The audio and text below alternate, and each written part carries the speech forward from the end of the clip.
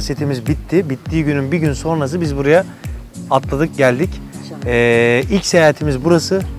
İlk tatilimiz burası ve çok keyifli, çok güzel. Benim için tatil ne ifade ettiğini ben buraya geldiğimde öğrendim. Kendimle zaman ayırdığımı hissediyorum burada. O benim için çok büyük avantaj.